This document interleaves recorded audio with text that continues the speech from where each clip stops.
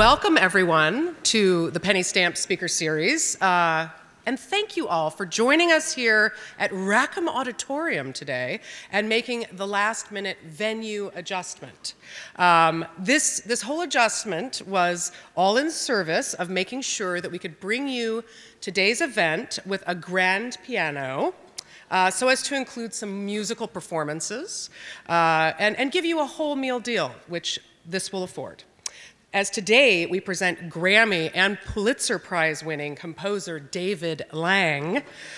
Yes. Uh, big thank you to our partners for their support today. The School of Music, Theater, and Dance and its William Bolcom Guest Residency Program, which is how we got David here today. Uh, it brings to campus the most prominent and innovative composers and performers in the world, such as David Lang.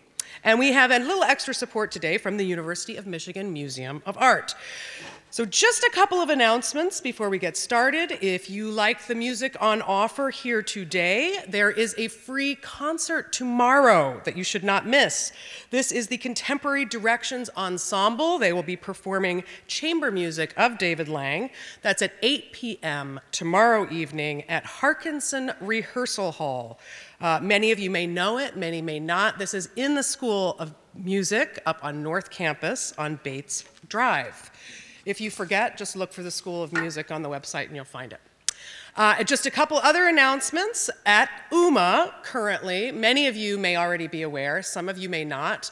Uh, UMMA is hosting uh, the Roman Witt Artist Residency Project Witness Lab in the Irving Stenn Gallery. The glass gallery on the front of the museum has been turned into a courtroom. Uh, there are many events going on there. Uh, next week, there's actually an event going on there right now. Uh, you should definitely check it out. You want to go there when there are events happening and, the, and this space is activated in there. So you can find a list of events uh, on the website. Next week, uh, on Tuesday from 1 to 3, it will be turned into Shakespeare's courtroom uh, with Gillian Eaton and students. And then from 3.30 to 5.30, it will be Brecht's Caucasian Chalk Circle courtroom uh, with student directors and actors. Then on Wednesday, we'll once again have Shakespeare's courtroom, more with Gillian Eaton and students. That's from 11 to 2.30 and again from 3 to 5. So, you know, it's not something where you have to necessarily go for the whole time. You can walk in, you can walk out. There are, however, other events later on in the season as the courtroom will be activated through the middle of May that you will want to register for. So you'll want to check out uh, the UMMA website for all of the events. Uh, we will not be happening next week. We are going to going on a two-week hiatus in honor of the winter break. Uh, so you can join us again, though, on March 12th. Uh, we'll be back and we'll be in our regular home again at the Michigan Theater around the corner uh, with uh, Alex Dehgan uh, and a talk in honor of the 50th anniversary of Earth Day. Uh, we will be having a Q&A here today uh, with David Lang. There are two microphones in the house, right there and right there. So when David opens up the floor to your questions, you can go to either microphone that's close and ask away. Do remember to silence your cell phones. Uh, and now for a proper introduction of our guest today, we have the coordinator of the William Bolcom Guest Residency Program, uh, and also uh, she is uh, teaches uh, composing up at the music school, Roshanne Etezady.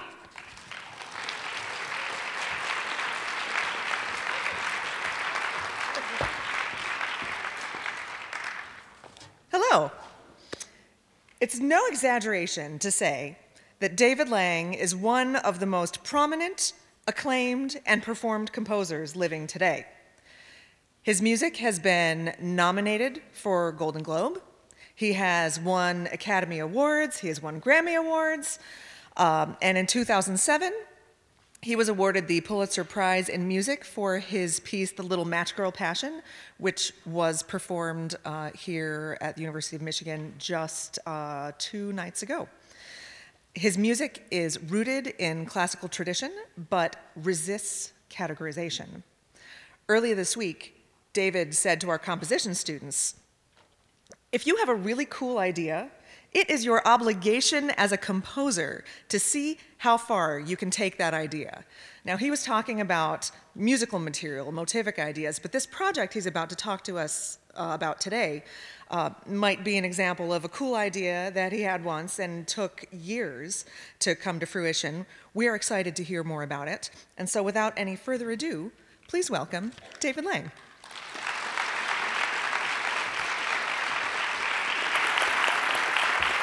Thanks, Roshanne.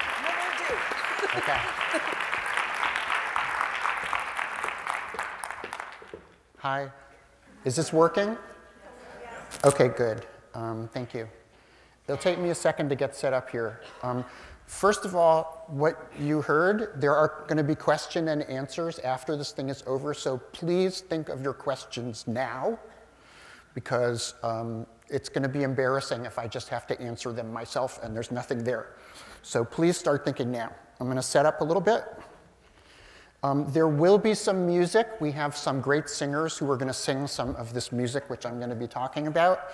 So it's not just me talking. But for a while, it's just going to be me talking. I'm really sorry.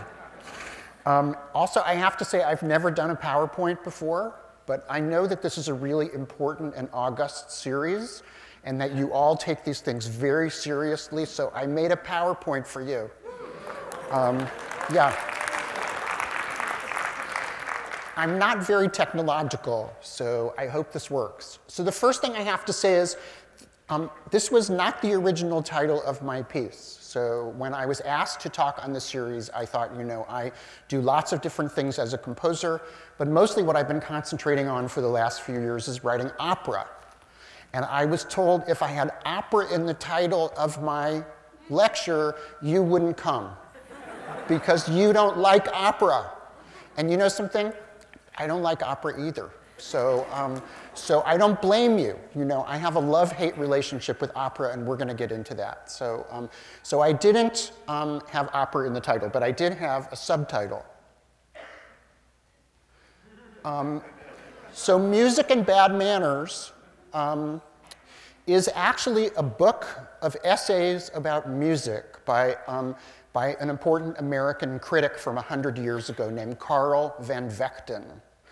So Carl Van Vechten is one of those interesting characters who um, becomes incredibly important in the cultural history of our country and then is sort of forgotten. He was very wealthy, very um, gay, very um, flamboyant. He lived in the high society world of New York, even though he was from Iowa, moved to New York, fell in with all the right people, became very close friends with the, um, the members of the Harlem Renaissance, and he just started writing novels about his life.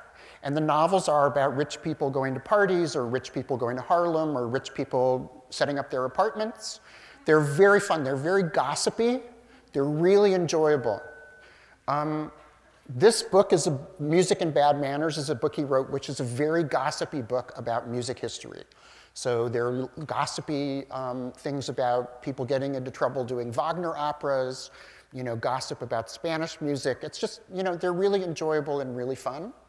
Um, he also is important because he is, um, in some circles, considered to be the first American dance critic. He is, was the dance critic for the New York Times, so um, 100 years ago, he was writing about ballet and about contemporary dance.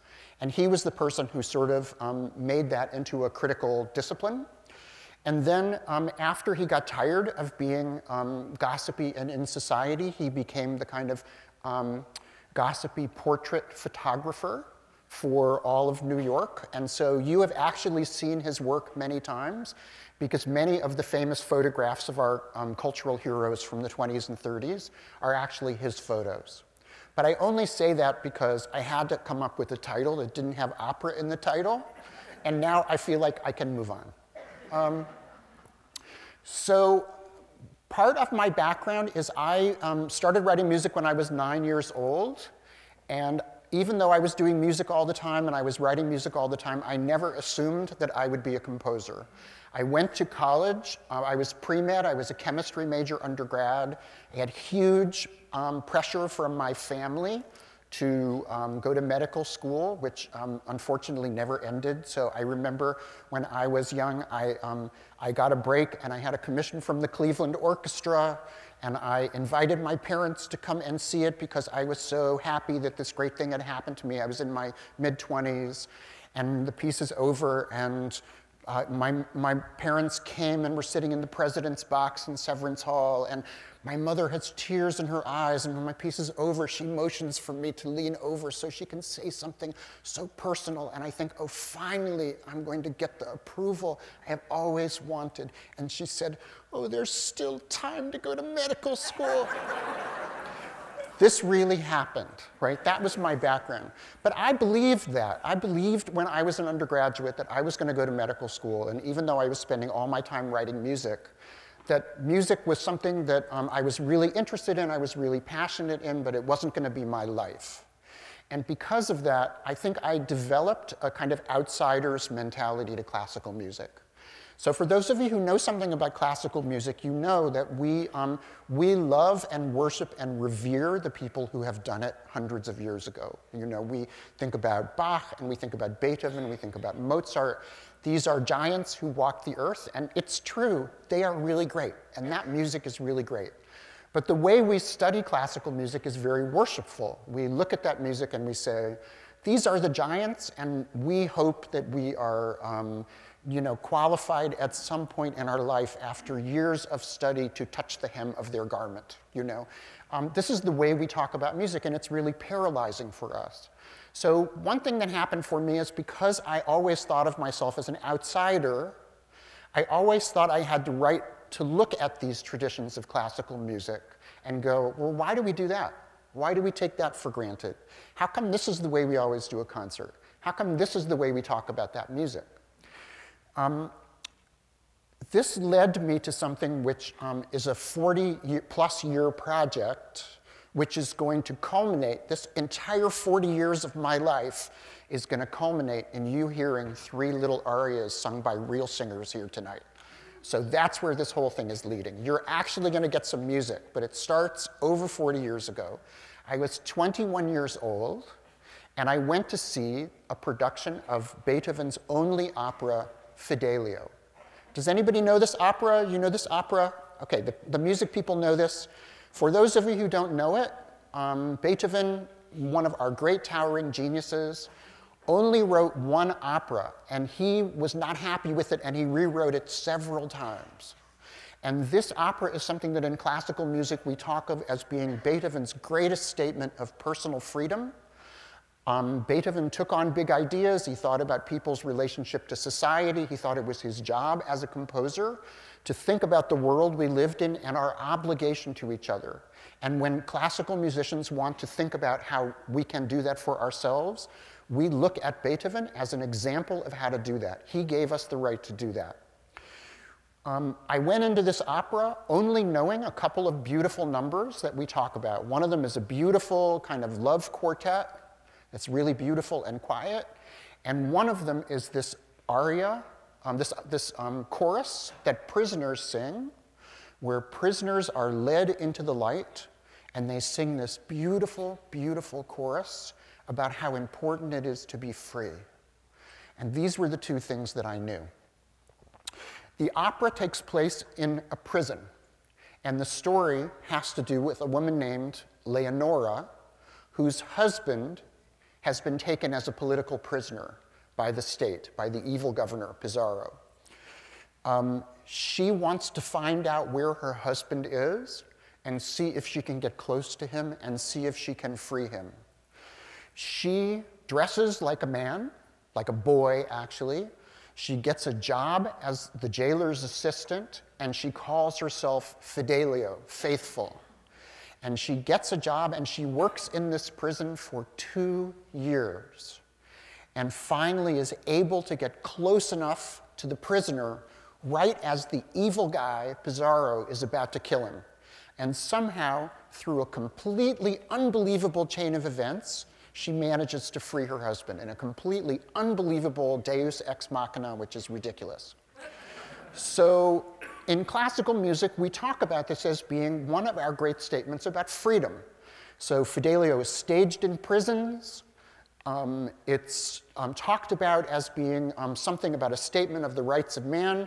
Beethoven wrote this right after the French Revolution, and this idea of freeing a political prisoner is something that came out of people in Europe thinking about what it meant to, um, to live in the world where people had overthrown their government.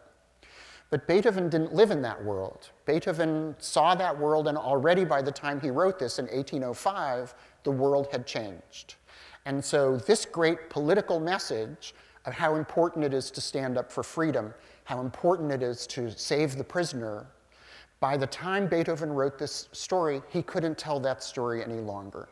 This opera was premiered in Vienna when Vienna was occupied by Napoleon's imperial troops. So it's not really a good place to say down with tyranny, you know? Um, so Beethoven had to hide this message.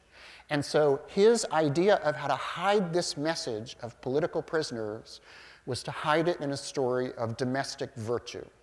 So he, instead of calling it just Fidelio and the story of you know, politics, he called it Fidelio or conjugal love. And the story becomes not about how to free this prisoner, but about how great it is that this woman wants to go to this great length to save her husband. And this means that there's some really ridiculous things that happen in this opera. At the end of the first act, there's this amazing chorus that I mentioned earlier, the prisoner's chorus, O welche Lust, O what desire. When the people come out and they sing how great it is to be free, it's so powerful and it's so beautiful, and then you never hear from them again. Never. The prisoners completely disappear until that ridiculous moment that I mentioned at the end where there's a little tiny note, not even in the music that anybody sings, just a note in the, in the stage direction saying, oh, and the prisoners are freed. What? Um, but the other thing which is most frustrating is that because he is hiding this political story in this domestic story, at the end of the opera, when you want the chorus to come out and go, down with tyrants, Long live freedom. Um, instead, they sing, Happy is the man who has a loving wife. Do you have a loving wife? Sing with us. so I remember I was 21 years old. I loved classical music so much. I was such a nerd, right? I'm, in fact, I still am, you know. Um, and I remember going to see this opera and thinking, wait a second, what happened to the prisoners? Where'd they go? What, this is our great story about freedom. What happened to these people? And then there are weird things in the story where, um, where she asks the jailer, um, have I met all the prisoners here? Like, they're sure, like she hasn't seen her husband in two years, right? I, have I met all the prisoners? And he says, oh, there's, there's, there are other prisoners you don't know here. But you must never speak to the prisoners of the state. So her husband is one of the prisoners of the state, but there are others. And at the end of the opera, they, those prisoners are not freed. So, this great statement, where classical musicians pat themselves on the back for having this great opera about freedom, has a lot of unanswered questions. And I remember thinking, there I am, I'm 21 years old, I wonder what happened to these people. You know, somebody should rewrite this piece and just follow the lives of the people who we don't know, right? What happened to those prisoners? We need to pay more attention to prisoners, right? We are over prisoned. So, if this is our big opera, shouldn't it actually deal with that? Shouldn't it actually deal with political freedoms? It's really a letdown to say that people should be married. I mean, I am married also, right? And I love my wife and I think she is great. But I think if I am arrested tomorrow, I really don't think she's going to be able to free me. But I know she'd want to, but I don't think she's going to be able to do it. You know, I mean, I'm rooting for her. but I think if we have to depend on all of our freedoms on my wife, I really think we're going to be in trouble. Um, so I had this idea, I'm going to rewrite this piece, right? I just thought sometime in the future, I'm going to get a chance to rewrite this piece. And then I did what young composers do always when they have an idea. They mention it to every single person forever who ever asks them what they want to do. Um, oh, do you want to do something? Yeah, I'd like to rewrite Fidelio. Oh, we'll call you back, you know? Um, so in the early 90s, I got a phone call from the director of the Santa Fe Opera which is a big traditional opera house outdoors in Santa Fe, New Mexico. It's a beautiful place. It's a very traditional house. They do very traditional operas, and they do one new opera every year. And um, they called me up, the director called me up and said, um, oh, we want to fly you out, and you know, if we can figure out what the topic is for you to write an opera, we'd love for you to write an opera. So they flew me out. So this is 1992, right? I'm, I fly out to Santa Fe, they go, if we commission you, what would you like to do? And I said, without hesitation, I would like to rewrite Beethoven's opera Fidelio. And they said, well, our audience already knows Fidelio. Why, why would anyone want another one? You know, that's just stupid. So I said, well, in that case, um, I would like to write an opera about the life and times of the Victorian art critic John Ruskin. And they said, oh, costumes. Yeah, you can do that one. um, so that's the opera that I did. I did a big grand opera. I took advantage of everything about the least operatic topic known to man, the life and times of John Ruskin, um, who is a much more important figure than Carl van Vechten, but you get a sense of the kind of people I'm looking for, right? Um, so I, I, took advantage of everything I could do in a traditional opera. I wrote arias, I wrote, I wrote choirs, I had a ballet in the middle because that's something you can do in traditional opera. I had double chorus, I had kids, I had spoken roles. I didn't have any elephants, but, um, but I, you know, if I were doing it again today, I definitely would. Um, and I felt like I did as much as I could to bend towards the opera world and bend towards the tradition of that world. And for some reason, it felt unsatisfying to me. I felt like I had to change so many things of what I did to live in that world that I wasn't able to do the things that I wanted to do in opera. And the biggest problem for me is that for those of you who have seen opera, you know that opera, you, you have characters who are good and characters who are bad. And the characters who are, like, who are good are completely good, and the characters who are bad are completely bad. And a happy opera with a happy end is where the characters who are completely good have a really completely good ending. And the characters, and, and the operas that are sad or tragic are the operas where the completely bad people, you know, have a really great time ending the opera. You know, I mean, it's like everything has to be wrapped up and everyone has to be understandable and the story has to be kind of um, uh, cut and dried, right? So there's a kind of cartoony nature to it. And I don't know about you, but I know a lot of people who are basically good. And I know a lot of people who are sort of evil. I only know a couple of people who are really evil, and I don't want to put them in an opera, you know? Um, most of my emotional experience in my life goes like this, right? You know, it's not like good and evil and good wins. It's like, well, sort of good. And that's probably the way I am too. You know, it's like, I'm not as good as I could be, you know. I'm probably not as bad as I could be either, which is good. But, um, but so, in, in other words, the way we have built this opera world, we have built a world out of telling stories that um, don't really resemble the lives that we live. Um, and one of the things that's really sad about that is that music has this great power to tell us deep inside who a character is emotionally. And that's why opera is so successful, is because people love to go, have someone say something, and have the music give you the doorway into their emotional life. So I had this idea after that big, gigantic opera that I was going to dedicate my life, or a huge portion of it, to trying to take what I like about opera, which is using the music to be the doorway into character and try to put it in places other than a traditional opera house. And I've spent a huge amount of time doing that, and now I'm going to show you some projects. Um, is that okay? Yeah. Okay. Um,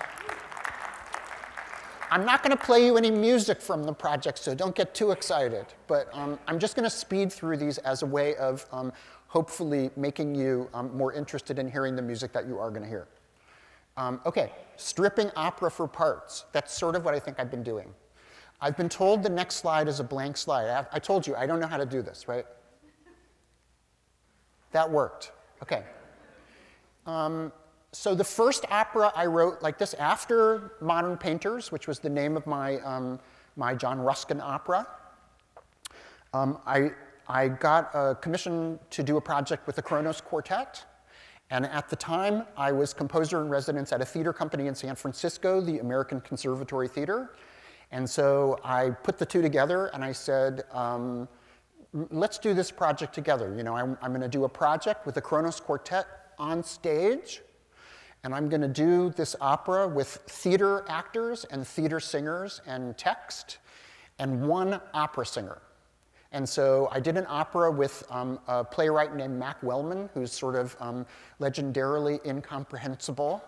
I love Mac's work, and he did an amazing um, play called The Difficulty of Crossing a Field, based on a story of the same name by Ambrose Bierce. Has anyone read this story? This is an, ama an amazing story. So Ambrose Bierce was um, someone, uh, a journalist and writer who went through the Civil War and then moved to San Francisco. Um, and this is a story which is, um, oh, has anyone seen the movie Rashomon? Right? And know the story Rashomon about how truth can't be known? So Rashomon was a story written by the Japanese writer Akutagawa, and Akutagawa based his story on a story by Ambrose Bierce. So this idea that, that people have different perspectives and there is no objective truth um, is the core of this writing. And this story is a story that's less than one page long. Um, and in that one page, it manages to tell the same story twice. And the story is a plantation owner in the South before the Civil War walks out into his field and disappears in plain view of everyone and is never seen of again. And everyone has a different explanation of what happened to him. Um, and somehow, in that less than one page, it manages to tell this story twice in ways that differ from each other. And so I thought that would make a great opera The Difficulty of Crossing a Field with Mac Wellman. And that's what it looks like. So you see, there's a string quartet down there. I have a pointer, I'm told. See? I'm pointing. This, now I know why people do this. It's really fun. Um, so this is the opera. This is the one opera singer, and the rest are, are theater actors. And there's a string quartet down in the bottom, and um, and here are um, people in the field of the title. Um, so that was really fun, and I thought, okay, this is really mixing things up. You know, I have taken this opera thing, and as I mentioned, opera is something that likes to have definite endings and to know who the people are.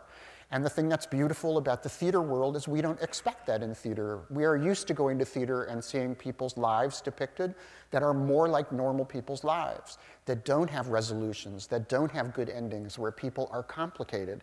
And so just the act of taking something out of that world and putting it into this other world gave me a huger range of emotions that I could deal with. The next piece was a piece that I did um, with a visual artist named Mark Dion um, called Anatomy Theater. So this was my attempt to do something which would take me out of the theater world entirely. I went to my friend Mark Dion. So Mark Dion is an artist who works with the history of science. And his most um, famous piece was a piece he did for the Venice Biennale, where he dredged a canal in Venice and he set up a laboratory on the side of the canal and he had all of his art students, assistants in lab coats, and everything they dredged out of the canal, they cleaned and polished and preserved. So they found 16th century glass and Coca Cola bottles and used condoms and car parts. And everything they scooped out of the canal, they treated it exactly the same. They polished it, they preserved it, they cataloged it, and then they built a beautiful vitrine and displayed it all. And this grew over six months. And at the end of the Venice Biennale, the Italian government impounded it because it had, you know, 16th century coins and 17th century glass in it.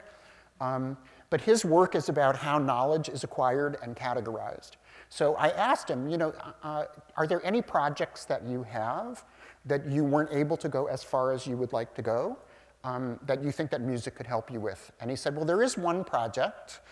He said that he had had a commission from an anatomy theater the anatomy theater that's used in the Rembrandt painting, The Dissection of Dr. Tulp, where there's a, um, a, cadaver and there are a bunch of serious looking doctors who are looking at an arm that they're dissecting. And he said he had proposed to those people to do a project in that anatomy theater, in that dissection lounge, to do a historically accurate 16th century dissection. And that he wanted to get a human cadaver for it. And they said, well, our health rules won't allow you to do it. So um, he said that he would do it with the next animal that died at the zoo, and hoping that it would be a camel or a rhinoceros, but instead it was a goat. So he said he was always frustrated that he wasn't able to do that on a real person. And I said, you know, in opera, we can do that, and through the miracle of opera, this person can keep singing. so we did this opera anatomy theater. Um, so, and this, all these things with Mark, they're all based on historical documents. So this is a document of a, a woman in the 17th century London who was hanged as a prostitute for killing her husband and children. She confesses her crime. She's hanged. And then we dissect her. Um, and then we talk about the, how the history of science is misogynistic. The history of opera, of course, is misogynistic. You know, without um, cruelty to women, there would be no classic opera. So, um, so this is sort of the subtext of this piece. And so, again, this is an idea of saying, how can you take this idea that music reveals character and put it someplace which is not a traditional opera house? Um, then I did this piece called The Whisper Opera. Um, this was an idea, um, you go to a piece of music and you all want to have the same reaction, right? You see something, I'm on stage, everyone is listening to me. We're going to have singers come up, singers are going to sing, you're all going to hear them at exactly the same time. We're all thinking that we are having the same experience. I started thinking, how could I make an experience where you would not be able to have the same experience as anybody else? Your experience would be unique. And so what I thought was maybe I could make an opera that was so quiet, where the singer only whispers, where all the music is absolutely, completely just above audible, and in fact, much of it is inaudible, and that you are seated in such a way that the musicians walk by you so that you hear a scrap of the story, and, um, and your scrap of the story will be very different from the scrap of the story which is heard by the person next to you. So when you come out of the theater and you go, oh, this was what the opera was about, and they'll say, well, that's not the part of the story that I heard. So I just thought, um, oh, and the really fun thing about this is it says in the score that this opera can't be documented, it can't be recorded, it can't be videoed, it can't be um, shown in any way. So it makes it really hard to book because um, I have nothing to show, but I do have some slides from rehearsal that I can show you. So I did it with the ICE ensemble, and it was built in this special way so that you see these gauze areas, right, that separate everyone. People are sitting in these little trenches, and the musicians walk among you. So if you're sitting in this trench, and the singer is here in the middle, you can see the singer, you can hear the flute player, but you can't hear anybody else really very well who are sitting in the other quadrants. And when the singer moves around, there are huge parts of the piece where you hear very little.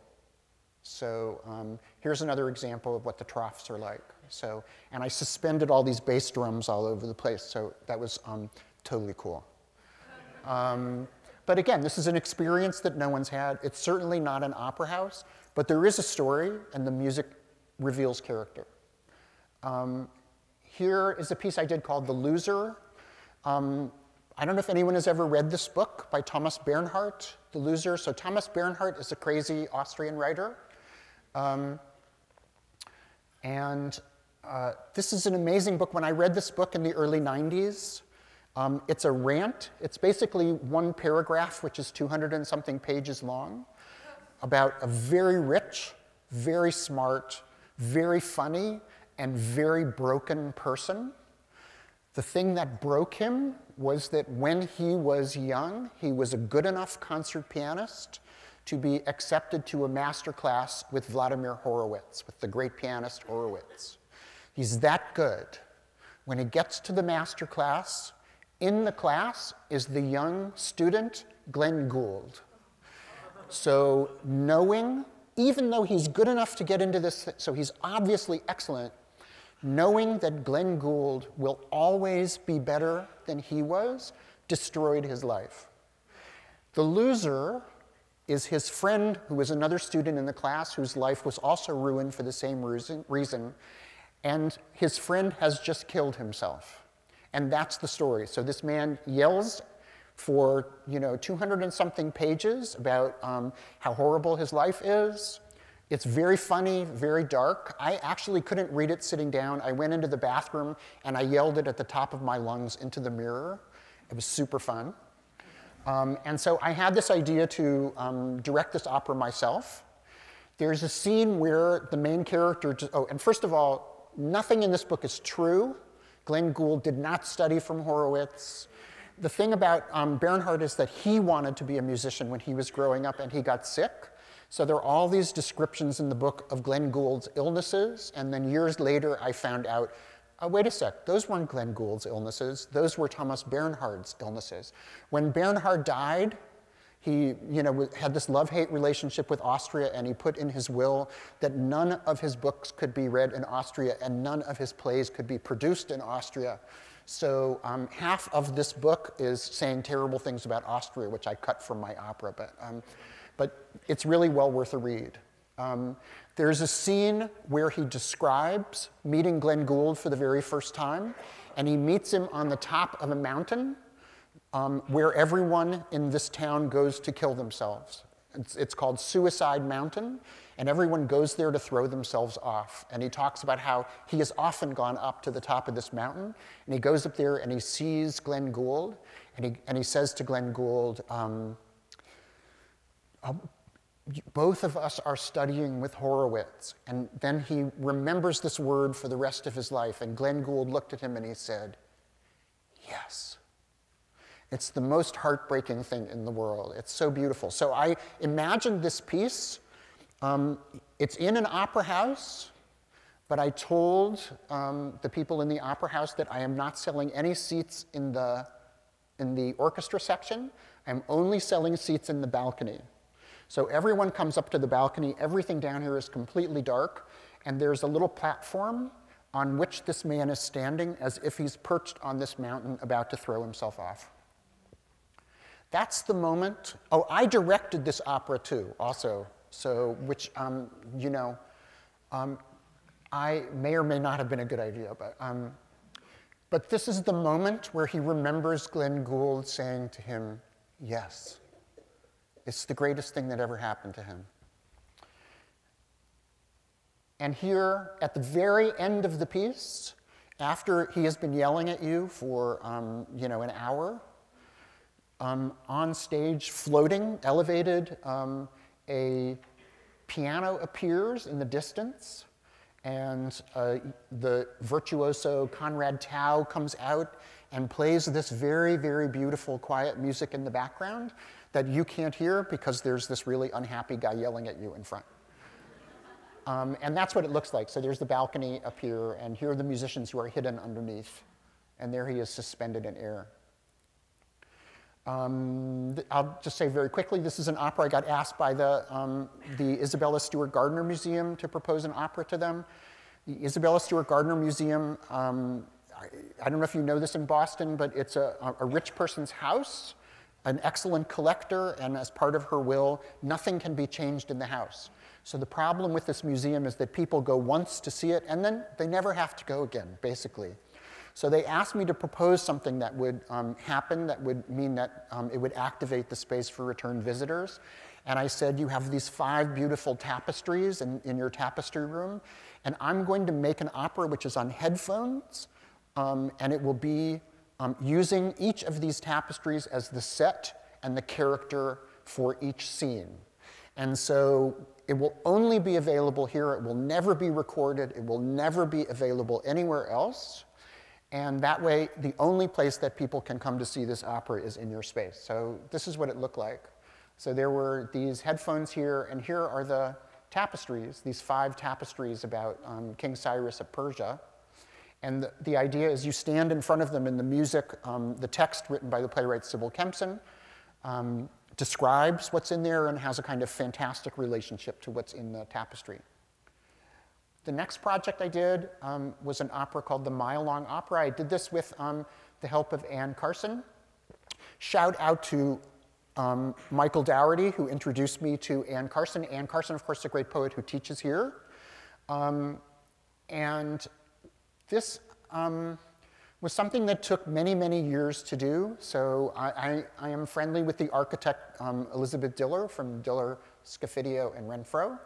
And they had designed the High Line. So you know what the High Line is, right? So it was this completely abandoned railway line that New York wanted to tear down. Um, it got reimagined as a public park and now is the most visited cultural site in New York. It's completely overwhelming. It has also changed the neighborhood completely because originally that neighborhood was the meatpacking district. It was full of um, you know, dirt and crime and prostitution, and it was a neighborhood you didn't want to be in after five o'clock at night. And um, now that this has happened on this, um, now that the High Line exists, the neighborhood has completely changed and it is expensive apartment buildings and high rises. And you can see the effect of it as sort of like um, the way sunflowers turn to the light. Everything tried to um, imagine that the High Line was the back. Um, the back of the building faced the High Line. Now everything faces the front of the High Line because that is the, the power of this architecture to change this environment. So um, Liz Diller, I think, felt a little um, strange that this building, this um, um, project had changed the neighborhood so drastically and had um, changed the composition and had chased people out. And so she wanted to do something to look at the change in the neighborhood, and she asked me to design a project.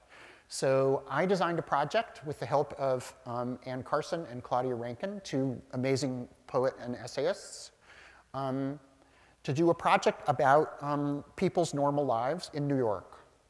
And I thought the whole point of this was so that you would go there, you, you want to be on the High Line, and the High Line is elevated, you have a vision of New York, you should be able to see things. You should be able to take a look, an honest look at things that you haven't been able to see elsewhere. So I went to the poets and I said, um, I'm going to do a piece for a thousand singers that stretch out over the length of the High Line.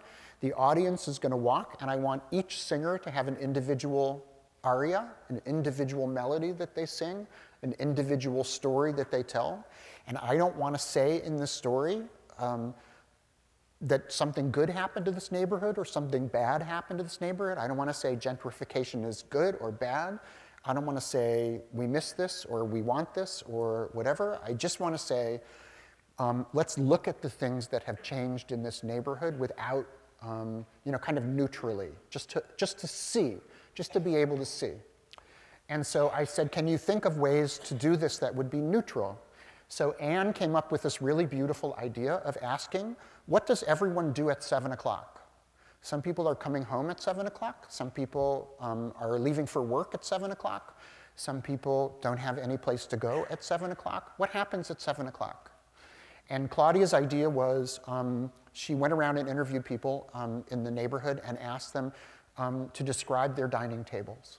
So what, what, what kind of dining table do you have? You know, and people would describe their fancy dining tables and their fancy meals and all this, and people would describe, um, here is uh, my table and it's totally full of work and I haven't seen my dining table in years. Here's this thing that says, I used to have a dining table, but um, you know, I, I got divorced and it got taken away. Some people said, I don't have a home, I don't have a table. Um, so it was a way of saying, here's this neutral way of looking at who the people are. And then the people who sang it were community members from every borough of New York. So a thousand singers from every different community, amateur singers, who we rehearsed and rehearsed and rehearsed. So this piece took a long time to put together. Here's what it looked like. So we had people walking on the High Line, and these people are singing individual melodies. I told them uh, when someone walks by, it is up to you. You may sing abstractly, or you may look people in the eye and sing directly to them. So people the first night, you know, they're community members, they're very nervous, so people were kind of shy about doing it. We ran it for a week. By the end of the week, you know, New Yorkers are hams, right? So every, every singer was looking straight at people in the eye, And everyone is crying because it's all very emotional and, you know, um, here's what the area, the little, this little underpass looked like. So this was a really amazing project, and it was um, super fun. Did anybody see it? I did. I, am really sorry you didn't see it. It was really fun. Um, okay, so now this brings us to music. We're going to hear some music. So all of these things came from the fact that I wanted to rewrite Fidelio, and I wasn't given the chance. And so I ended up doing an opera I didn't like. And now um, I rewrote Fidelio. So I, what I did was I took Beethoven's libretto. There's no Beethoven music in my piece at all. I took his libretto and I cut everything that had to do with the mistaken identity. I cut the secondary love stories. I cut as much as I possibly could. And what I was left was the skeleton of the story of the woman looking for her husband, the jailer who is um, helping to kill the husband, um, and the evil governor. And I added the prisoners back because I thought we're in a prison. I don't want to lose who these prisoners are. You know, we have um, children in cages. We do not want to forget the prisoners. And so, um, so I put the prisoners back in every single scene. I figured out something for them to do. But mostly, I made a list of questions from the original that I hoped would be answered. I didn't want these people to be cartoons. And so I wanted to find out who they were. So I tried to add arias that would tell us a little bit of the background of each. And so we are going to hear now three arias from this. And maybe I'll set up each one um, individually so that I can shut up and you can hear some music. Um, so the first one we're going to hear, the way the opera opens. Um, this is a little bit of a joke, but you know some people in classical music know um, that there's a thing, the Leonora uh, um, overture, right? The Leonora overtures of Beethoven, right? He wrote four overtures. That's how much he had trouble with this opera. He rewrote it several times, and every time he rewrote it over, um, over 10 years of his life, he wrote another overture. And so now there are all these extra pieces floating around, and you may see on a concert program, oh, we're going to do Leonora number three or Leonora number four. Um, so how the opera starts is actually a big musicological, um, you know, craziness.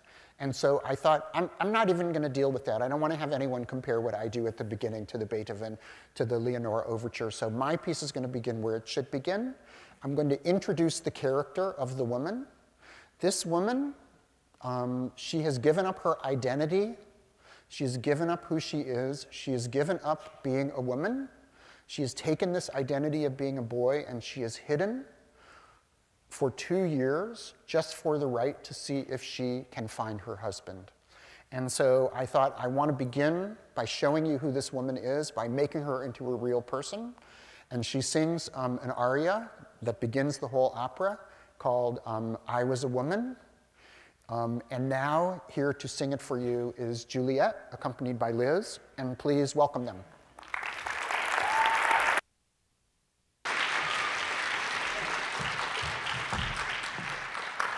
And before they sing, because I'm not a professional lecture giver, I messed up.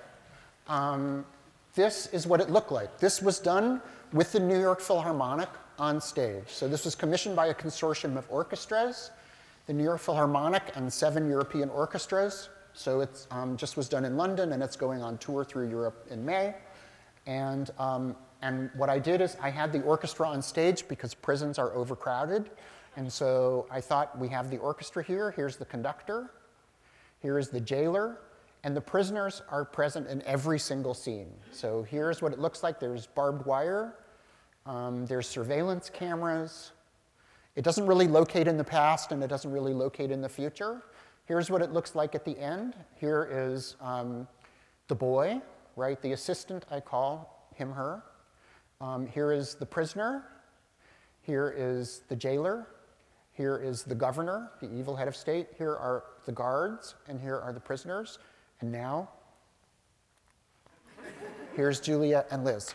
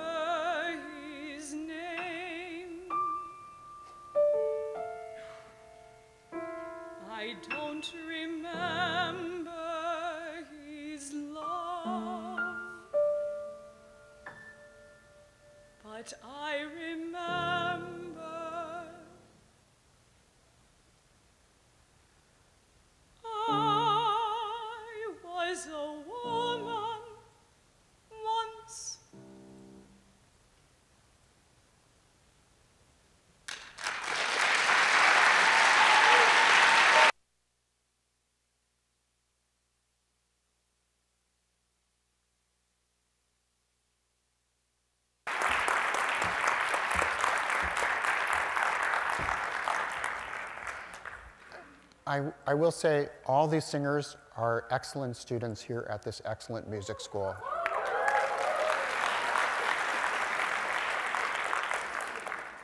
That was the slide that was supposed to be up while you were watching that. Um, so I tried to repair everything that I thought was a problem in the original libretto. Um, one of the real problems um, is the character of the jailer.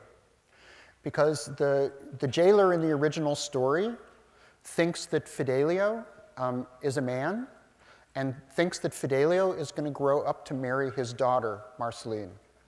So there's this, like that beautiful quartet that I mentioned, you know, at the beginning about this beautiful music that was from the original.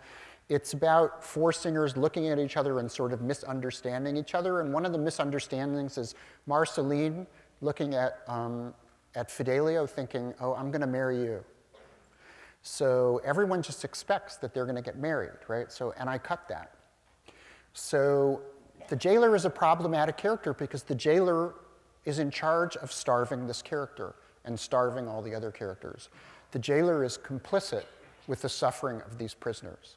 The jailer draws a line at one minute and says, I'm not going to kill him, but I'm perfectly happy to take away his bread and water. I'm perfectly happy to have him die under my watch, but I'm not going to kill him. And one of the things that I remember being shocked about when I saw the opera at the beginning, when I was 21, was that when everyone comes out at the end and they celebrate how great it is to be married, there is the jailer and the jailer's daughter, and they're happy and they're celebrating. But I thought he was complicit in all of this. You know, so in my version of the opera, I imagine that the jailer is sort of a stand-in for who we are. You know, he's sort of like us. He's trying to figure out where in this world his line is. You know, he's trying to figure out how, um, how broken am I? You know, can I actually, I, am definitely helping this corrupt system continue, but I do have a limit. I, am in the process of trying to figure out where that limit is. Um, since I cut that love story, um, I had to deal with this particular aria, and it, the next aria was something that I was very tempted to cut because there's a very clunky aria. Even the greatest Fidelio heads who love this piece this much have trouble with this aria because Beethoven actually writes a comic aria. Beethoven, not known for his sense of humor, um, writes a comic aria where the jailer is singing to Fidelio and to his daughter about how difficult it's going to be for them when they get married because they're going to need money. So he's giving them a, a bit of, you know, like father in law advice. Like, you're going to need some money. And it's very funny. The music is very clunky. And it's weird advice, right? He's saying, okay, you want to live in this world? You need some money, right? You're going to need some money. If all you guys have is love, you will always be hungry. It's a very funny aria, and it really, um, I was very tempted to cut it. And then I realized, you know, actually, this is a description of what his worldview is. He's they're working as the jailer in this prison, and he's totally happy for money to work there and to help kill this man. That's part of his life. Money must be very important to him. So I repurposed this aria, this, this um, text, by changing it into something that shows his kind of um, his world wisdom, you know, his, his kind of cynical view about what he is doing there. He knows exactly why he's in that prison. He's getting paid, right? He knows what the value of gold is because you need gold to live. So I changed it from being like fatherly advice to being something that's, um, you know, a little darker. So, um, and now um, here is Alan, who's going to come and sing um, this aria called Gold.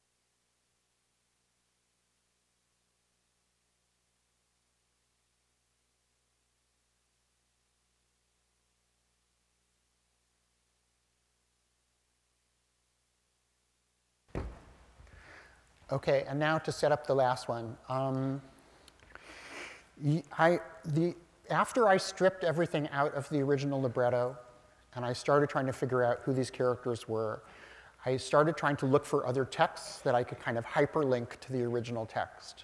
Things that came up in the story or in the storytelling or in the, um, the history that might actually give us more information about the world that Beethoven was in, what this was about, what freedom actually meant, who these people were. So, for example, when the jailer comes out and he sings about um, the jail environment, I actually have a description of where they are, which is from the English philosopher Jeremy Bentham's description of a modern prison, modern being you know, 1795. Um, his idea of the panopticon, so there's a whole section on that. Um, I wanted to know who the, who the prisoners were in 1805, right?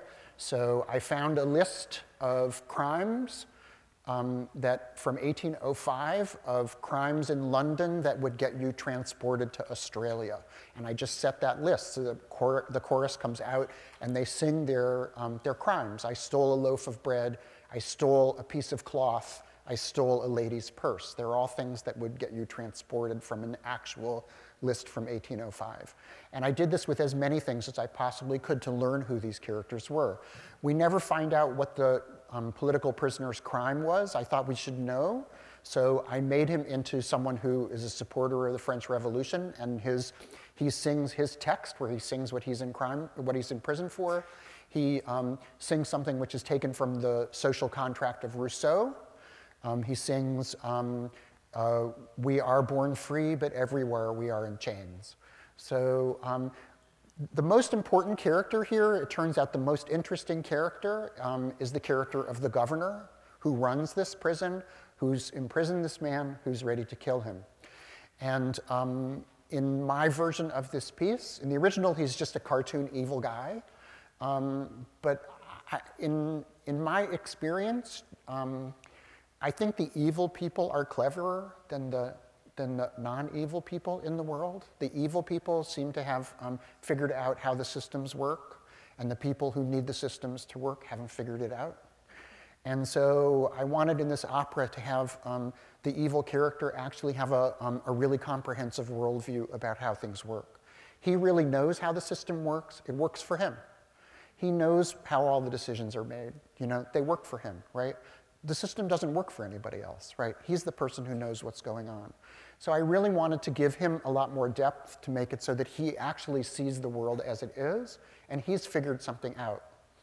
So um, what I did for him after he gives the, um, the instruction that happens in the original libretto for um, the jailer to go downstairs and dig the grave and that he's going to come back later and kill him, then in mine he steps out of the action and he looks at the audience and he sings um, an aria which explains um, how he knows how to do this. And this is an aria that's taken from Machiavelli's The Prince, a very famous dictum that he wrote. Um, it is better to be feared than to be loved. And one of the things that's so interesting about this, it's just, it's right in the Machiavelli. It just tells you, um, you know, um, love is a bond that men will break if they can gain something by breaking it. But fear, a man who fears you will never leave your side. Um, so here is um, Daniel to sing, Better to be Feared.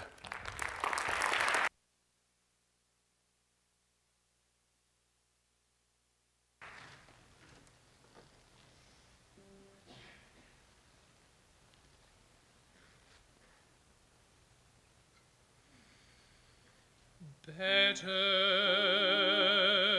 to be feared than to be loved.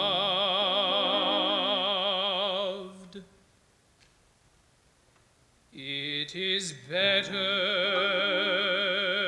to be feared than to be loved.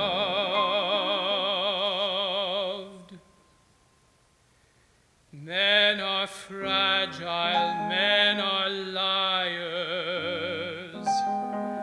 men are cowards, men want money.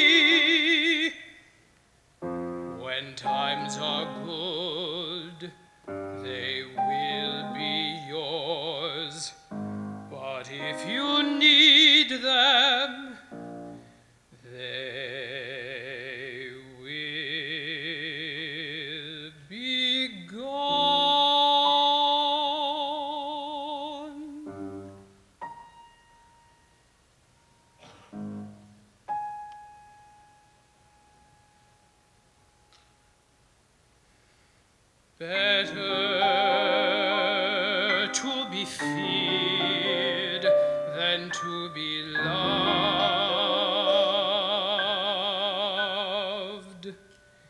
It is better to be feared than to be loved. Love is a bond that men will can gain something by breaking it. But fear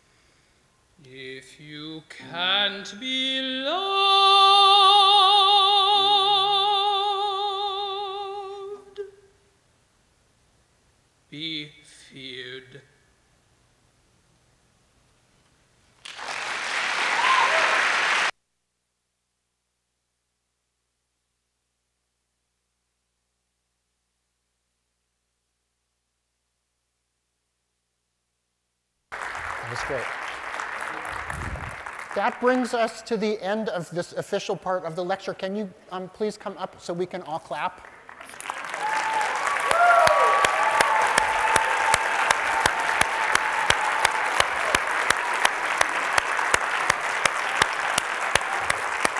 Thank you. That was really great. Thank you. That was really fun.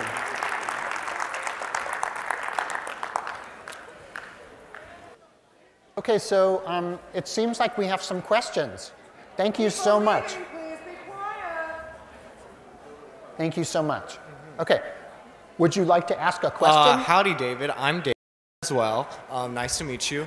Uh, I'm wondering, you seem to work with a lot of prestigious institutions, but you have pretty political messages to your work and kind of out there ideas in terms of staging. How do you kind of balance like the prestige and the rigor of the work that you're trying to produce and the kind of uh, institutions and how uh, they don't like to do new things? Uh, usually. I think um, yeah, institutions are resistant to doing new things, but they're not against doing new things.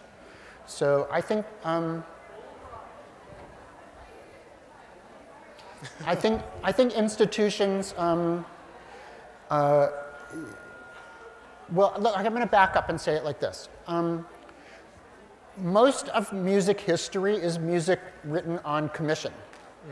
So when we think about music from 800 years ago, it's music commissioned by the church, it's music commissioned by a, um, by a prince, it's music commissioned by a rich person to um, play in the background while rich people are eating dinner. Um, it's music which is made for a specific event that's paid for by somebody else those people, and that tradition stays to this day, right? You know, people commission you when you get a commission, an orchestra says, we have 10 minutes for you, here's your slot, this is what's on the rest of the program, this is what we imagine. And it's totally fine to do that, right? You know, it's totally fine to answer all those people's needs. But one of the things that I realized very early on is that when someone tells you in a commission what it is they are looking for, they're telling you the end of their imagination. You know, they're telling you mm. this is what we need, and this is what we can see. And um, if we imagine that what the point of music is for us to express ourselves, why should I expect that these outside people want to express something that's internal to me? They only know their internal needs. They haven't thought of my internal needs. So when somebody asks me what I am interested in doing, I have a policy of asking them if I can do something else. Because I have a long list of things I am hoping to accomplish um, in my life and I want to do them, right? And so sometimes that means, as in Fidelio, I'm not kidding, I, um, I had so many near misses with this project that were, um, you know, um, with so many different people in so many different environments because I kept talking about it. I have lots of projects like that. So, um, so I think, you know, we, we, the institutions get a bad rap um, because I, I, think we think of them as being limited, but I think what they do when they ask you for a commission is they're telling you their need. They're telling you this is what we imagine our need is. But you can actually um, tell them what your need is, and then maybe you can um, make some sort of compromise. The thing which I think is also very interesting, I did this when somebody came to me and said, I, I want a 10 minute piece from you.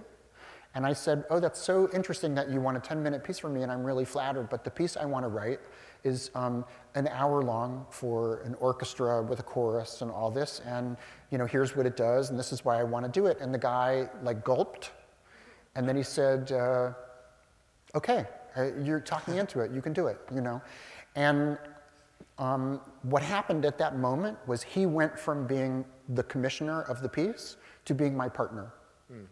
And, um, and so I knew at that moment that I had um, changed a business relationship into a friend. And the worst that could have happened was he could have said, no, I want the 10 minute piece. And then I would have said, okay, fine, I'll write you a 10 minute piece. He still could have been my friend writing a 10 minute right. piece. But you know what I mean? I think we, we think that, um, that the opportunities that come to us um, are things external to us. But the most important thing is for us to know what it is that we want to do, to know who we are, to know what's important to you, to know what drives you, you know. And, and I think what happens is as you get more established and people trust you, they'll go farther with you. But I also think as you um, can say things that are important to you um, with passion, um, as you become more passionate, other people have the option of becoming more passionate with you. And that's how you know who your friends are. Thank That's you. my answer. Yes? Hey, David. Um, my name is Marcus. I, uh, I should preface my question by saying that I never went to music school or art school, and so I'm only peripherally aware of what I'm about to ask about. Um, so, in the beginning of your talk, you were talking about the way in which, uh, let's say, the music establishment or the music education establishment tends to revere um, the great composers of the past. And um, it is my perception that it seems that the music establishment tends to lean towards reverence of tradition, whereas the fine arts establishments tend to lean towards uh, reverence of novelty. And sometimes it almost feels as if, you know, there's a new a new common era that maybe starts with like Duchamp or something, or like the Impressionists. I don't know. Um, so I'm wondering if a you think this is if you if this if you believe this is accurate, and b uh, how did things get that way, and c where does that like divergence in two different art forms or the establishment of these art forms where does that lead to? Thank you. Question. Um, the um, you know, there's, there's good um, work in every discipline that reveres the past and bad work that reveres the past. And there's good novelty in every world and bad novelty in every world. But what I think happens in the visual arts, which is really interesting, is that um, the arts um, have an idea um, that it is okay for you to see something that you don't like and you can walk past it. because it doesn't um, affect the amount of time that you have to spend with it. I think music has a special problem because you can feel like you are um, captive for something. If you see something for an hour that's terrible, um, you feel like um, that hour really hurt. I wasted that hour. I lost that hour. If you go into an art museum and you see something you don't like, you walk by it, it takes three seconds, you know. So I think the, the delivery mechanism is actually um, um, kind of affects how we think about those worlds. So one of the things which is different than I think about visual art is that if you have something novel, it can change that three seconds into 10 seconds, and that's a successful piece. Um, but the other thing which is really interesting about the visual art world is because it's um, a little more immune to um, having people um, you know, feel like they are made captive in some place, that it means then that, um, that something which is offensive or um, aggressive or something which is controversial, people then in the audience can decide um, for themselves how close or how far away from that experience they want to get. And that means it can become a place that's actually a little better home for risk. So in classical music, it's a lot harder to risk these things because in order for me to do one of these ridiculous projects, I have to get everyone to agree that you want to spend you know, two hours doing it. Um, and people who don't like it after 10 minutes, you know, um, you're going to be really unhappy after two hours. I'm really sorry. Whereas people line up at the Whitney Biennial every year, um, you know, they line up outside to go inside and have a terrible time, you know, seeing all this confrontational work. And then they talk to their friends about how confrontational it was, and then they go line up again to see it again, you know. Um, we get used to the idea that risk is part of that world, and then risk becomes a value in that world. We, in classical music, we, um, we don't think about risk that way. We don't study the risk that way. We study the masters. So um, what we revere in music is something that reminds us of a lot of the music that we already know.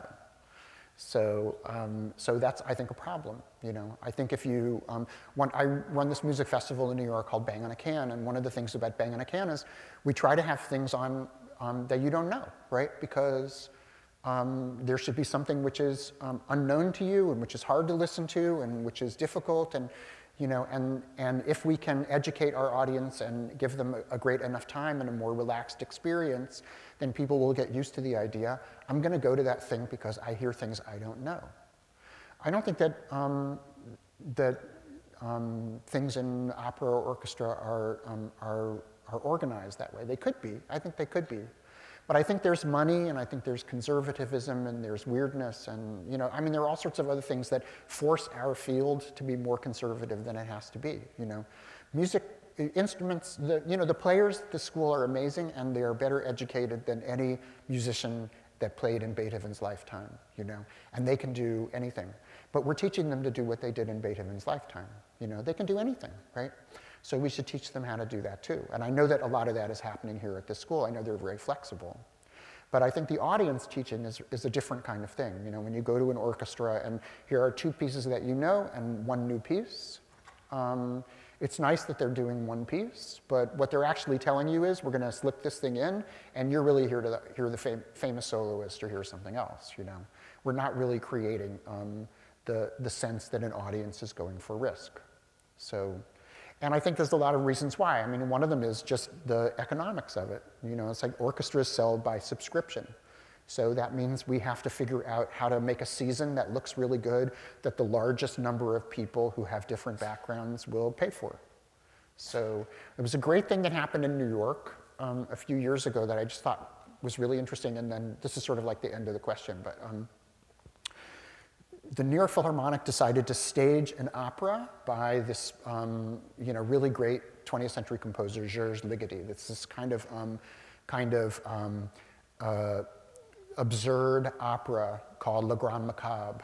And it's wild, and it's you know, really complicated and incredible. And they decided to stage it this kind of roughly the same way they staged my opera, right? So the orchestra on stage and things happening around.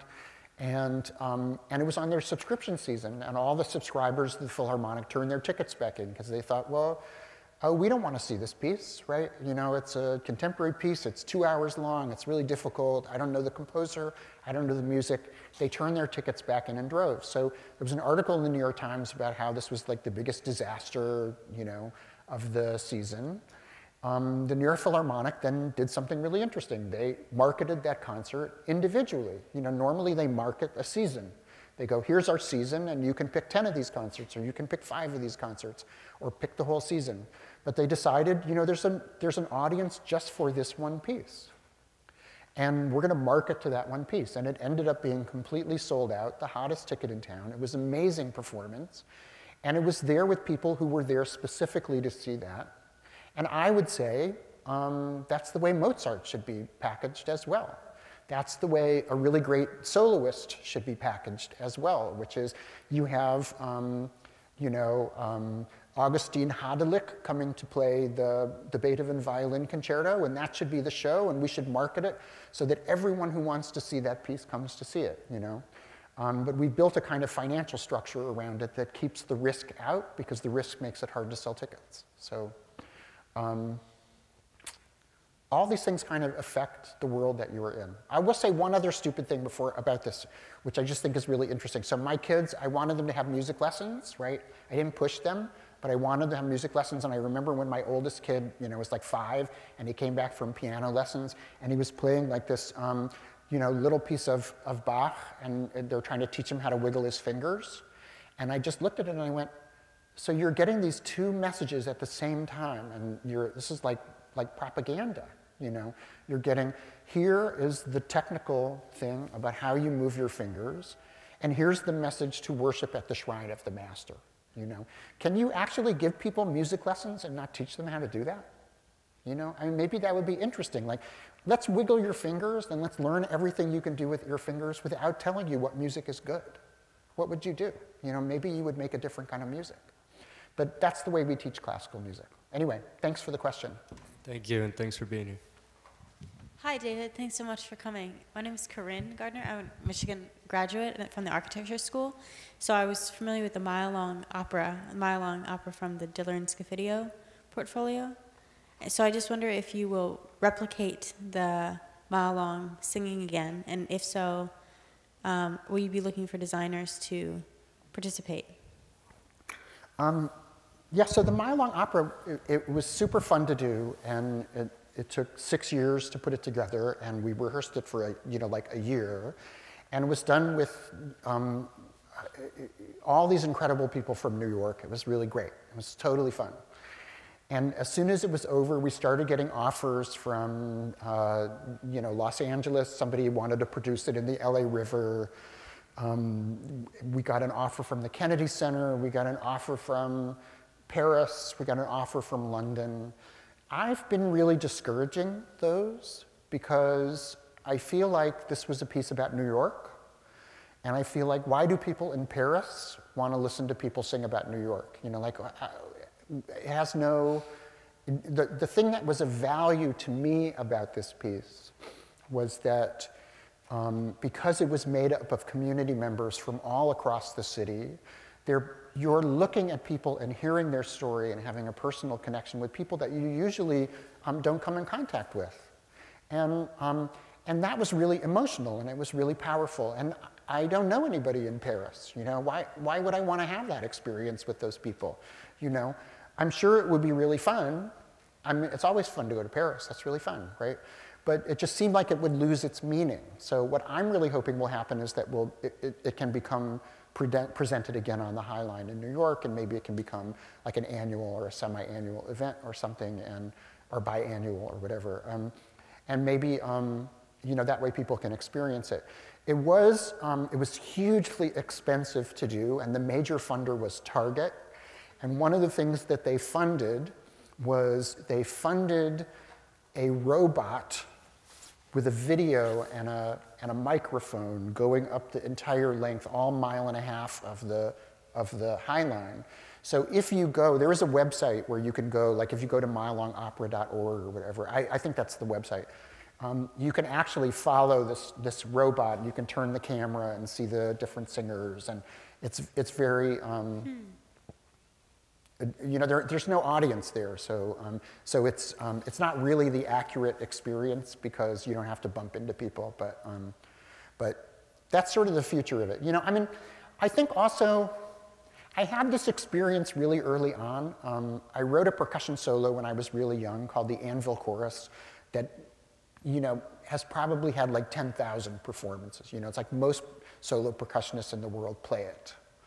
And I remember thinking, um, I have this piece, it's really practical, everyone can play it, it's really great, I'm really happy everyone plays it. Then I got another commission for another percussion piece, and I thought, well, what's my job? Am I supposed to do another piece that everybody can play? And I thought, I've done that. I, I have a piece that everybody can play. Now I can do a piece that nobody can play. You know, now I can do a piece that's weird. You know, now that takes the pressure off me. I don't have to do that every time. You know, so I kind of like pieces like the Whisper Opera or like the Mile Long Opera, which um, you know really is located in one place, or like True Pearl, which is only in the Gardner Museum and is only going to be up once a year. You know, I like the idea that um, I have some pieces that I want everyone in the world to do, and I have some pieces that I'm totally fine being, um, you know, little hidden secrets, and, um, and that's okay. Very cool. Thank you very much. Thank you. Um, I was wondering, did your parents ever really accept um, that you wanted to be a mu musician? Did my parents ever what? Accept? Oh, accept? Um, the reason why I'm going like this is because the speakers are out here so on stage, actually, you know, like all the sound is pointed back that way, so that's why I look weird. Um, so unfortunately, my mother passed away before I made a living as a composer. So, but I will say one of the great things about the Pulitzer Prize and going to the Oscars and things like this is it made my father finally relax and realize that I was going to be okay, you know. So um, that's what those things are really good for. So, um, and after that, my relationship with my father has been spectacular. So, um, but now I have kids of my own, and I feel like I want to go back to those years and apologize to my children, because all parents really want is for their children to be taken care of and to be successful and to not have a hard life. And the truth is, being a musician is a risk. It's a very hard life. So what my parents were telling me was, um, um, you know, we really just want the best for you. And, um, and my children um, are, are um, unfortunately in fields where none of them will ever make a living. So they've learned the lesson. I mean, what could I tell them, right? You know, how could I tell them, oh yes, this thing which will, my, my son writes poetry, right? You know, probably the, you know, the only field which is worse than being a composer. Um, and I have to tell them, yes, I support you completely. I, I, I'm completely on your side. But I worry about them the way my parents worried about me. Thank you. Uh, hello. Uh, I'm, from, I'm a student from the Stamps School of Art, and I wanted to ask how, since you talked about how in the school, in your school of music, that they basically like worship Bach and Beethoven, and all of those things, have you ever felt like creatively limited by those expressions? And if you did it, how did you like work around that or sort of like build upon what they already did in order to like be more expressive?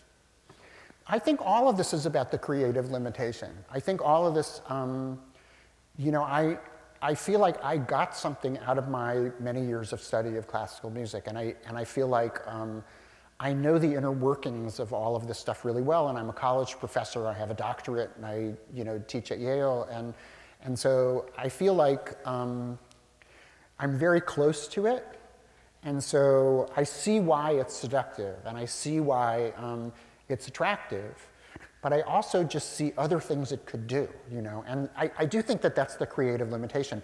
I'm not, I'm not at all for, um, for blowing everything up, you know. And in fact, the way I'm really hoping this piece will happen, my, my Fidelio opera, and some opera companies are actually um, talking to me about this right now, which is that they're going to run the pieces next to each other. I made my piece very practical, so it's exactly the same instrumentation as the Beethoven. So if you, have, if you are doing the Beethoven, you can do my piece the next night. And so I really want to be in dialogue with the classical music, and I really depend on people um, uh, being engaged with the classical music. So I don't think that what I'm doing is trying to like go off in a different direction. I think I'm really trying to find um, another way for people to get into how great the original is, you know? I think the weird thing, when you grow up in classical music, you're always explaining to your friends why that's a good thing to do. Like, you know, you grow up and, and you say, oh, I do classical music, and everybody goes, why are you doing that? You know, there's pop music, that's so great. There's jazz, that's so great. Why are you doing this, right? You know, what's that, you know, stupid thing you're doing, right? And so I think, um, at least for me, I always felt like I had a lot of explaining to do to my friends who were artists or theater people or people in other disciplines. And you'd have to say, um, no, it's, uh, you know, like I remember when I was a kid and I would say, I, I, I want to, you know, be a musician. And they go, oh, like the Talking Heads? You know, no, not like the Talking Heads, like something else, you know. Um, so there's something about it that's kind of fundamentally uncool. And I feel like if I can give one ounce of coolness back to it, um, then I won't feel like such a nerd, if that makes sense. Yeah, Thank I you. get what you're saying. Hi, David. I'm a big fan of yours. I've been following you for a couple decades. Um, just wanted to let you know that um, I was curious about if it's possible, if you could explain the beginning of Bang on a Can to where you are now in a very short amount of time. So, um, yeah, so this organization, Bang on a Can, was started with um, two friends, Michael Gordon and Julia Wolfe, who are both excellent composers, and we met in school. And um, basically, we would meet every single day in New York. We were young composers. We had nothing to do. You know, young composers sit around, you're underemployed, nobody plays your music, nobody plays the music you want to hear. And we just would meet every day and we would just complain, you know. And after a year of this, we just went, this is really boring, you know. Like either we do something about this world. So we literally sat down and we made a list of all the things that we thought needed to be changed in order to make a healthy environment for contemporary music. Um, music, uh, you know, famous people and unfamous people should be equal. All music, you know, like should not be categorized by classical music or jazz or opera or whatever. Could be categorized differently. So we thought maybe you could categorize it by being who, in whatever kind of music they're doing, wakes up in the morning and goes, Am I an innovator or am I conservative? And maybe if we put a concert together of people who all imagine they're innovating in their discipline, we wouldn't go to a concert and feel like, oh, this kind of music is better than that kind of music. We'd go in and, and we would go, God, there are a lot of really interesting people doing a lot of weird things. So we start, we just thought, we're, we, we're gonna, we just went through this list and we thought we're gonna make a 12 hour concert. So we did, the very first year we did a 12 hour concert. We thought one of the problems with concerts is you see a concert, there are four pieces on the concert. This is what happens in contemporary music. And then you go out with your friends to the bar afterwards and you all agree, okay, this piece is better, this piece was worse, this piece was terrible, that composer must be awful. We all agree this composer's the best, right? So you, you come to consensus, whether you agree or not. You know, you're actually losing your own independent voice by coming to consensus that way. So we thought, you know, because music is really personal, why should you like what anybody else likes, you know? Um, so we thought we're going to have a concert that's 12 hours long, and then you'll go to the bar afterwards and you go, my favorite piece was this, and your best friend will say, oh, I didn't see that, I was going out for dinner. Um, and so, you know, we did this thing, it was super fun, we had a really great time. And we thought we are going to do this thing once. We did it in an art museum, in an art gallery in Soho in New York, because we thought, um, you know, music audiences already know what audience they're, what kind of music they like. We're going to do it for an art audience. Um, we'll just do it this one time. So the concert sold out, and you know, we went from two in the afternoon to two in the morning, and then you know we sold the tickets and sold the beer and cleaned up. And so, like four o'clock in the morning, we're still sweeping up. And then we looked at each other and we went, you know, we have to do this. You know, we, there, we, we have to do it again. So we've tried to continue growing, and we have started doing, you know, over the years, we've been going now for 33 years, and we um, have done festivals all around the world. We have an ensemble called the Bang on a Can All Stars. We have a marching band called Asphalt Orchestra. We have a commissioning program called the People's Commissioning Fund where our audience pools five or ten dollars and we commission weirdos. Um, we um, have an opera production company.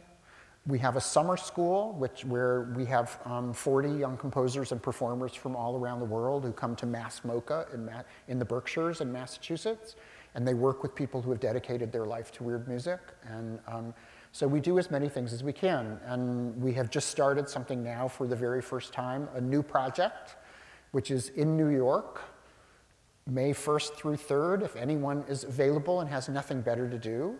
We have, we're starting a new festival, which is called Long Play, and we have over 50 events in venues in Brooklyn, in Brooklyn which are within walking distance of each other. So we have the Art Ensemble of Chicago, we have a giant Steve Reich concert where all of his multiple pieces that are done on tape usually are all going to be done completely live. So electric counterpoint with 14 guitars. Um, we have um, thousands of musicians participating, and we have free events, we have community events, education events. We're doing as many things as we possibly can called long play. So if you're around, check it out. So basically, Michael and Julie and I are still best friends, and we live very close to each other. We see each other all the time, and, um, and we don't really get paid, right? You know, um, so we have an organization now that does all the work, and we are essentially still volunteers. So our feeling is um, we are in it for the passion, and so if we can think of something that we need to do that the music world would enjoy, um, we're going to do it. Thanks a lot. I appreciate it. You're a big inspiration. Just want Thank to say you. that. Thank you so much. We were, uh, my wife and I went to your show at UMMA on Tuesday night, Uh-huh. and I really liked the excerpts from Enemy of the State this afternoon. My question is do you envision your music s- as standalone and not staged? Uh, what brought that to mind is last summer at Tanglewood, the Boston Symphony performed De Valkyrie in concert, and it really focused your attention on the music and the intricacies of the music because you didn't have spectacle on stage to watch. Would your music have a standalone value like that? I have a lot of instrumental music, and actually, there's going to be some of it tomorrow, and a lot of music which just exists on a stage.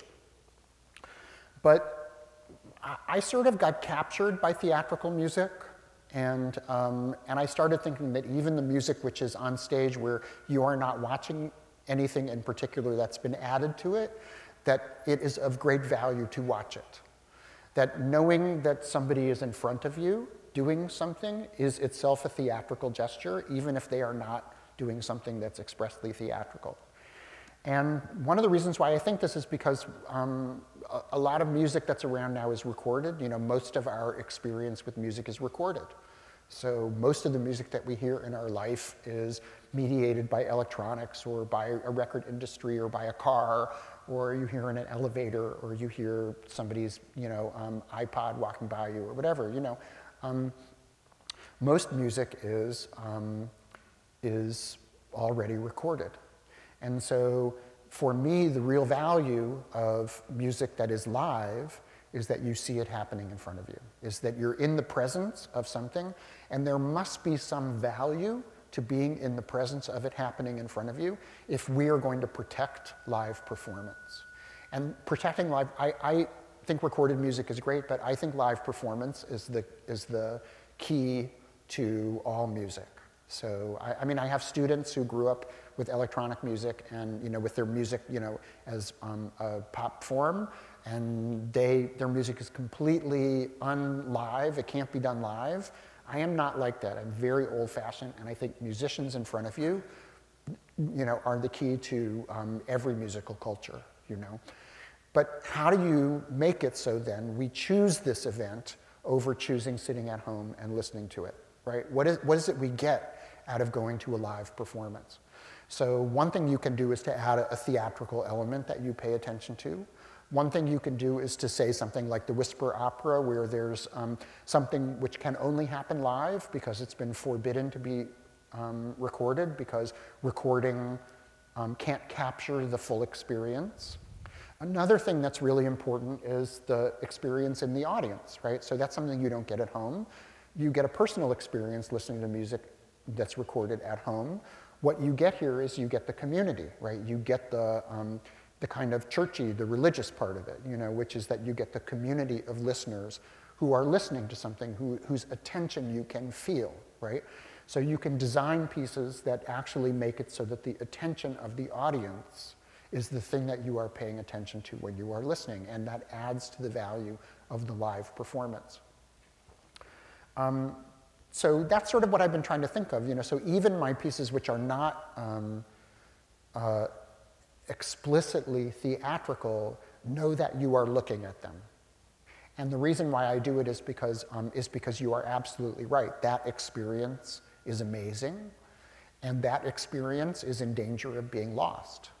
And so we have to figure out ways to make sure that um, that, that experience is refreshed and that that experience is, um, is ennobled. And um, on that note, thank you all very much for coming.